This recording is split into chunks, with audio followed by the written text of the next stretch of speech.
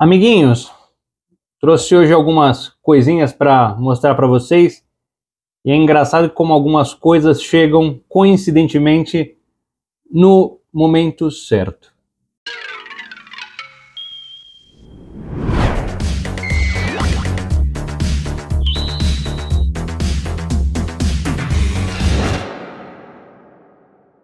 Na verdade, eu nunca sei se é o momento certo ou a gente cria na nossa cabeça essa coincidência, o momento certo. Mas a verdade é que chegaram coisinhas aqui que me, fizeram, que me fizeram refletir e eu acho que vale a pena comentar aqui no vídeo. Na verdade, talvez esse seja, seja um vídeo mais é, sobre a participação de vocês nos comentários do que o que eu vou falar. Primeira coisa, para você que gosta de Masters of the Universe, chegaram algumas buchas, vamos falar assim. As buchas, e eu sei, tem muita gente que gosta das buchas, eu gosto pra caramba. Chegou o Rocon e o Stonedar da linha Classics. Peguei lacrado do colecionador misterioso do último vídeo que tinha repetido e ele estava vendendo. Eu falei, ah, vou comprar isso aqui. Então, estão aqui os Homens Pedra, lá do universo de Masters of the Universe. Inclusive, tem participação na última animação Revolution. E aí peguei Luz, de um, que era de um pack exclusivo. Agora não lembro se era de PowerCon ou de San Diego, mas ainda pela Mattel. Era um tripack que vinham dois Cobra Troopers, dois cobras da Horda. Então a diferença entre eles é aqui, ó. A cabeça desse aqui lembra mais o Cobra Khan e esse aqui é um verde mais forte, vamos falar assim, mais vívido. E aí, agora a hora na minha coleção tem mais dois troopers de cobra. Isso aqui nunca tinha sido lançado antes dessas figuras. E depois a gente viu isso também na versão Origins, que saiu o Cobra Trooper aí. E nesse tripé também vinha o Slamurai. Então essas aqui foram uma das últimas figuras que saíram pela linha da, da Mattel, só que também não tinha sido lançado até então, e hoje também existe na linha Origins. Esse Slamurai ele vem com uma cabeça extra, vem com a espada, vem com uma roupa de tecido, caso você queira, mas eu na pressa acabei pegando o que estava lá, porque estava luz, e depois o colecionador é, secreto, que esconde a coleção da patroa, ficou de me mandar, e aí, é, aí eu mostro para vocês aí, ou no meu Instagram, lá no Pernizila, ou mostro aqui no Coleções e Causos. Legal dessas buchas, e quando eu digo do, do momento certo, ainda tem um assunto que é de uma outra coisa aqui, mas eu estava aqui esses dias pensando e refletindo e conversando com as pessoas sobre a série de Star Wars Acolyte, que não é uma série boa, na minha opinião. Porém, eu assisti, não fiquei chateado de ter assistido, achei um negócio meio Mulheres de Areia, Ruth, Raquel tal. Aquela história já foi contada é, nas novelas da Globo, aliás, teve até. Quando eu assisti Mulheres de Areia, já era um remake da original. Mas é mais uma história dentro do universo de Star Wars. Então, é interessante, assim como acontece em Masters of the Universe, que você tem uma história principal, aquela que uh, te embarcou nessa, nessa paixão, e depois, ao longo do tempo, depois que você conhece a história dos principais, depois que você já tem as coleções, as figuras principais, muitas vezes, quando você tem capacidade financeira e gosta muito da coisa e espaço, a gente acaba caçando uh, outras histórias, outras curiosidades. Então, a Colite é mais uma história dentro do universo de Star Wars que não, vamos falar assim, muita gente vai falar, puxa, mexe no cano, nisso e aquilo, mas é mais uma história, história de outros personagens que estão ali permeando Star Wars. Então, independentemente de ser ruim ou bom, também Masters of the Universe tem aqui diversas histórias que não tem a ver só com He-Man e Esqueleto. Na verdade, depois de todos esses anos, lendo os quadrinhos, assistindo as novas animações, é, assim como o, em Revelation, o He-Man fala que a, a, tudo aquilo ali não tem a ver só com ele e o esqueleto, Diferente do filme de 87, que o He-Man, o Dolph Lundgren, fala para o esqueleto: Isso tudo tem, teve sempre a ver, sempre, sempre foi sobre eu e você, esqueleto. Diferente disso, tem diversas outras histórias, às vezes boas, às vezes ruins, às vezes forçadas, às vezes com lacração, às vezes sem lacração, etc, etc, etc, mas de outros personagens que às vezes são interessantes. Então, aqui tem o Rokon e o Stonedar, que é uma história relacionada à Horda. Então, eu acho que tem mais a ver com a Horda, assim como o Império de Star Wars, uh, Masters of the Universe, porque a Horda está sempre envolvida nas histórias paralelas e na história principal de Masters of the Universe do que He-Man e Esqueleto. Então, mesmo aqui, ó, a história dos, uh, dos Cobra Troopers, isso é mais uma história relacionada à Horda, ou até mesmo aqui o Slamurai, que teve a família assassinada pelo Ninjor e sai à procura do Ninjor. A história dele se passa muito mais depois do He-Man, quando vira rei, do que durante aquela fase que a maioria das pessoas conhece. Mas é uma história também interessante. Aliás, nos anos 80, todo mundo tinha um, um ninja, né? Branco e um ninja é, de uniforme negro. Então, de uniforme preto. Então, sei lá. Comandos em ação. G.I. Joe. Tem lá o Snake Eyes e o Storm Shadow. No Rambo, tem o ninja dragão branco e dragão preto. E aqui temos aqui o Slamurai e o Ninjor, também em histórias similares. Então, eu acho que é sempre legal, às vezes uh, com bons enredos, às vezes com enredos ruins, como eu disse, mas ter um universo que cresce e, e vai contando histórias daqueles outros personagens que são às vezes secundários ou complementares àquela primeira história uh, inicial. Então, fiquei feliz aqui com isso aqui. Uh, fiquei feliz com isso aqui. Uma hora eu abro e aí a gente fala um pouco mais sobre esses personagens todos aqui. Até se vocês quiserem, conta um pouco sobre a história deles e, e, e por aí vai. E recebi da editora Comic Zone mais um quadrinho de luxo que chama O Grande Poder de Schinkel. Olha que legal a capa.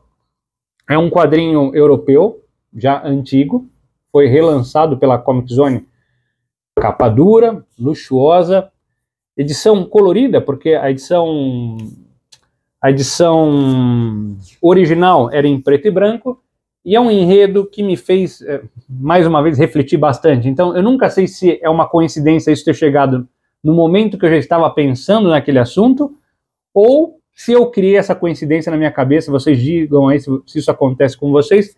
Mas é uma história que mistura um pouco do Hobbit, que nós temos um hobbit aqui, que é o Shinkel, é, é, é, é, um, é o John da raça Shinkel, assim como o hobbit, mistura um pouco de religião, o primeiro e o segundo testamento, é, quem lê isso aqui vai notar e vai identificar rapidamente passagens bíblicas é, nesse, nesse quadrinho aqui, que eu gostei muito, e tem um pouco também de 2001, uma Odisseia no Espaço. Então, a história aqui se passa o, o John, que é o Tinkle, ele é um escravo e no mundo ocorre guerra, uma grande guerra, de três facções, de três imortais que mandam seus escravos toda vez que aparecem dois sóis no céu. Isso é de forma descabida, eles vão lá, se matam, se destroem tudo, a hora que acaba, volta cada um para o seu canto, aí a hora que aparece os, dois sóis de novo, eles voltam a brigar, tá uma guerra interminável. E o John, que é um dos escravos, acaba escapando dessa, de uma dessas batalhas e é interpelado pelo Criador de tudo. Então, assim como Moisés, lá quando Deus falou com ele no Primeiro Testamento e criou lá os, os mandamentos, as duas tábulas, tal, etc., o Criador também vem falar com um John e diz que ele é o Salvador. Parece similar? Então, e assim como no Segundo Testamento, ele acaba passando de, por provações, porque ele é o enviado, ele é o escolhido, ele é o the chosen one, que vai trazer a paz a esse mundo em guerra. Só que ele não quer ser isso. Então, lembra muito, de novo, as histórias que a gente lê na Bíblia, especialmente nessa parte do Segundo Testamento, porque o, o autor se baseou nessas histórias bíblicas para construir um pouco desse universo fictício e fantasioso. Então é interessante porque, mesmo uh, eu, apesar de ser é, cético com uma série de coisas, às vezes sou agnóstico, às vezes sou ateu, depende do dia e do humor, eu acho que a, a leitura da Bíblia é uma boa leitura. Aliás, eu lembro que até uns anos atrás, era o livro mais vendido da história da humanidade, etc. Não sei se isso é verdade ou se era verdade, mas para você que é religioso, eu acho que vale a pena a leitura. É uma boa leitura, especialmente do Segundo Testamento, porque é como se fosse uma biografia não autorizada do Jesus. E para você que não é, é, porque assim, eu conheço pessoas, inclusive minha esposa, minha madrasta são religiosas, tal, minha esposa menos, mas nenhuma das duas leu a Bíblia. Eu, apesar de ser agnóstico, ateu, seja lá o que for, eu li mais de uma vez porque tinha aula de catecismo na infância, era um, estudei num colégio de padres, depois li por curiosidade algumas coisas. Então, é um. Assim, se você é religioso, aquilo ali é importante. Se você não é, é um, especialmente o Segundo Testamento, eu acho que é um bom livro, porque conta a história, no mínimo, do, ou do Filho de Deus para alguns, ou no mínimo de um profeta. Assim como Maomé, assim como Nostradamus, tem uma biografia não autorizada, contada por Mateus, Marcos, Lucas e João. E onde eu quero chegar? Aí que está o ponto, e eu não sei se eu deveria ir tão longe assim. Mas vamos tentar. Uh, aquilo ali, depois eu estava pedalando com a Luciana, uns dias antes de receber isso aqui, estava exatamente refletindo sobre o que é verdade, a verdade de cada um, o que é a realidade é, e o que realmente acontece. Então, eu estava comentando com ela na dias antes de receber o, o livro aqui, que a Bíblia, o Segundo Testamento, quando foi escrito por esses quatro caras, Jesus já tinha morrido pelo menos há 35, 40, até 65 anos. Então, aquelas, aquela biografia foi escrita, uh, no mínimo, três décadas, mais de três décadas depois da morte de Jesus. Então, o último ali escreveu praticamente 100 anos depois que Jesus nasceu.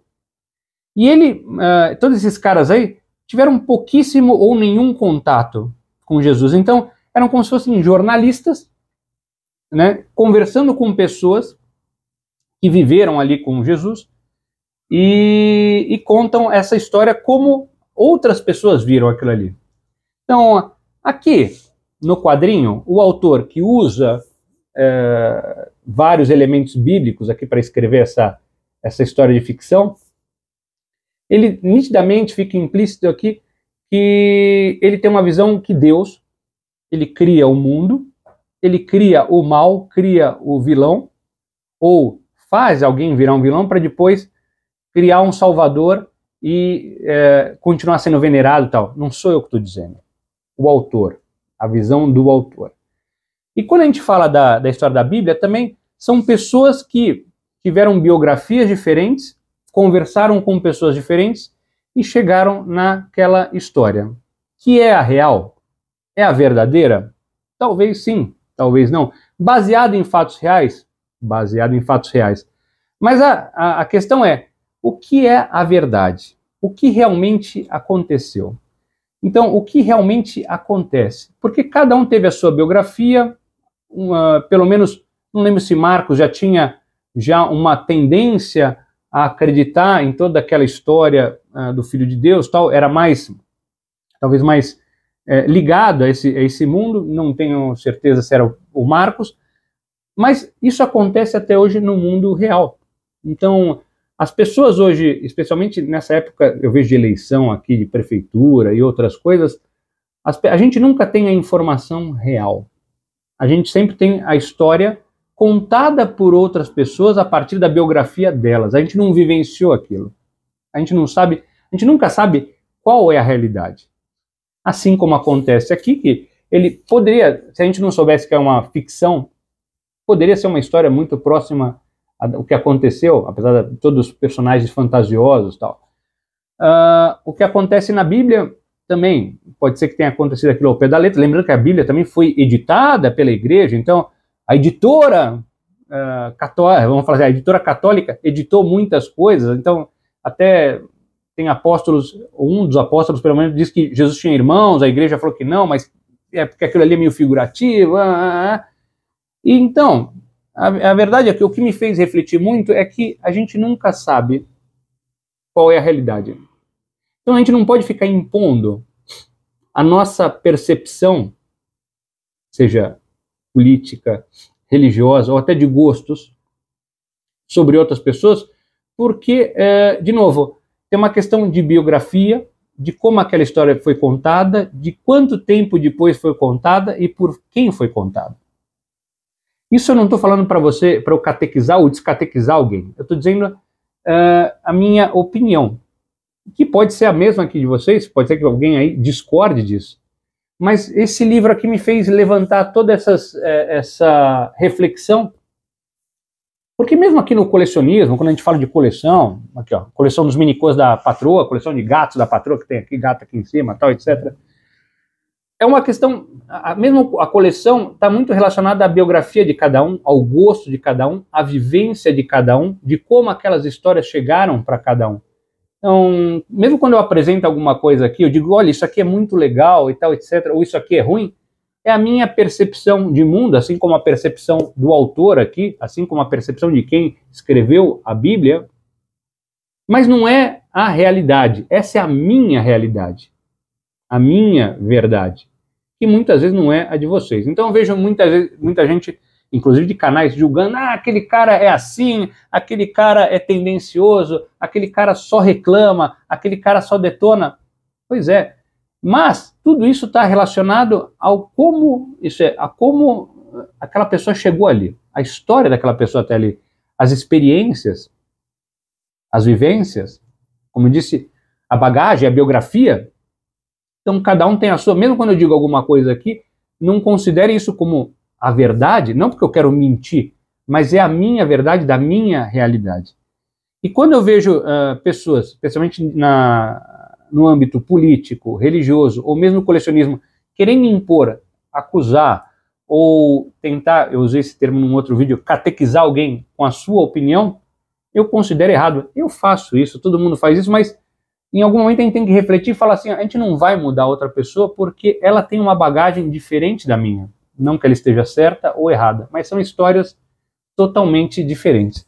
E esse quadrinho aqui da Comic Zone, que está lá, acho que em pré-venda, não sei se já saiu faz algum tempo, mas eu sei que está no site da editora Comic Zone, além de ser uma ótima história de ficção, além de ter todos esses elementos bíblicos, além de ter entrevista com os autores, além de ser colorida do jeito que eu gosto, é, uma, é um quadrinho que me faz refletir. Não é todo mundo que gosta de quadrinho, não é todo mundo que gosta de reflexão, mas sempre tem um caos especialmente nessa minha fase da vida, que eu fico, às vezes, no meu tempo livre, eu sempre tenho uma reflexão, sempre acho que tem alguma coincidência, sempre acho que, puxa, olha só, nesse momento chegou isso, aquilo.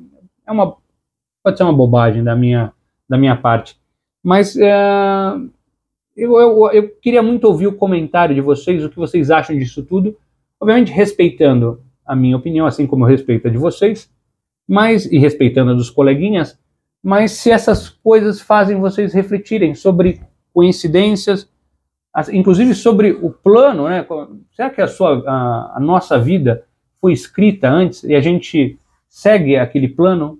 Ou será que, apesar daquele plano, a gente tenta se revoltar de forma reacionária e a sair daquele plano divino que foi nos colocado? Ou será que não existe o plano divino? A gente só inventou isso por algum motivo, alguém inventou isso, não sei. Mas dê uma olhada no quadrinho, me digam se vocês gostaram dessas figuras aqui, se vocês querem que eu conte essas histórias um dia. E a gente se encontra muito em breve num próximo vídeo. Até mais. Tchau, tchau.